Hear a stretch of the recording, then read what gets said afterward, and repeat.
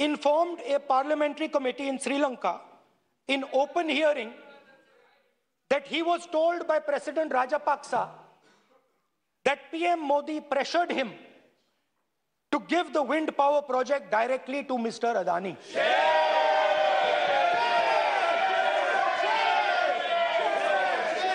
मतलब श्रीलंका में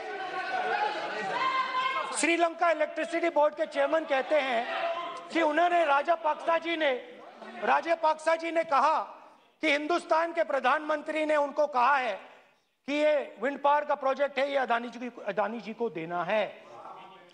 तो ये रही आपकी फॉरेन पॉलिसी ये हिंदुस्तान की फॉरेन पॉलिसी नहीं है, ये अदानी जी की फॉरेन पॉलिसी है, उनके बिजनेसेस बनाने की फॉरेन पॉलिसी है।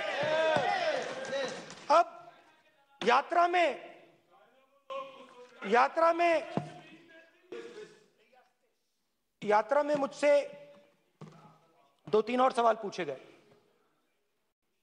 यात्रा में लोगों ने मुझसे पूछा, राहुल जी, ये जो एलआईसी कंपनी है, इसका पैसा अदानी जी की मदद करने के लिए क्यों डाला जा रहा है?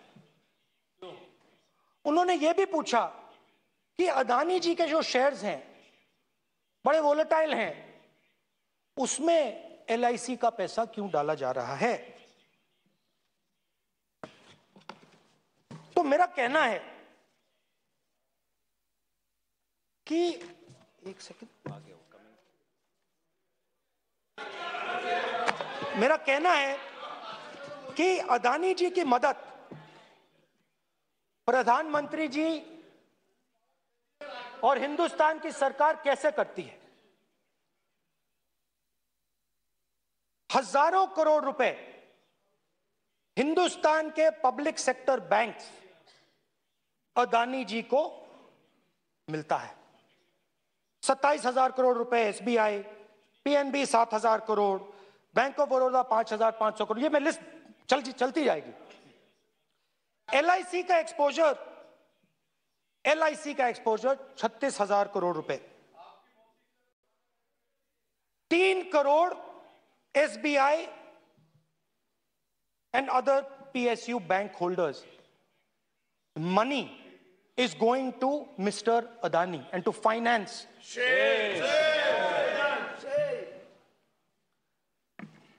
now of course there is another question तो मदद कैसे हो रही है?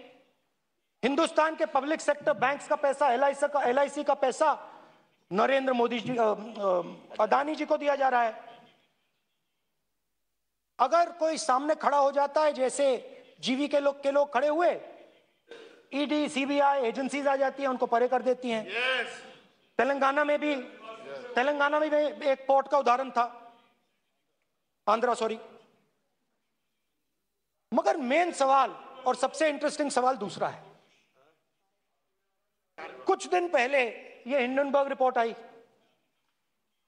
उसमें लिखा था कि अदानी जी की हिंदुस्तान के बाहर शेल कंपनीज़ हैं। ये जो शेल कंपनीज़ हैं, सबसे पहला सवाल है, ये हैं किसकी? ये किसकी है मॉरिशस में जो शेल कंपनीज़ हैं?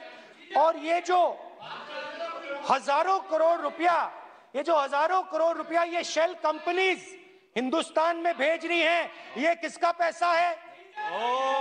और क्या ये काम अदानी जी फ्री में कर रहे हैं? अब मैं ये सवाल क्यों पूछ रहा हूँ? क्योंकि क्योंकि अदानी जी स्ट्रेटेजिक बिजनेसेस में काम करते हैं। अदानी जी हिंदुस्तान के पोर्ट्स को डोमिनेट करते हैं। अदानी जी हिंदुस्तान के एयरपोर्ट्स को डोमिनेट करते हैं। और जैसे मैंने कहा, अदानी जी, हिंदुस्तान की डिफेंस इंडस्ट्री में बहुत ज़रूरी रोल प्ले करते हैं।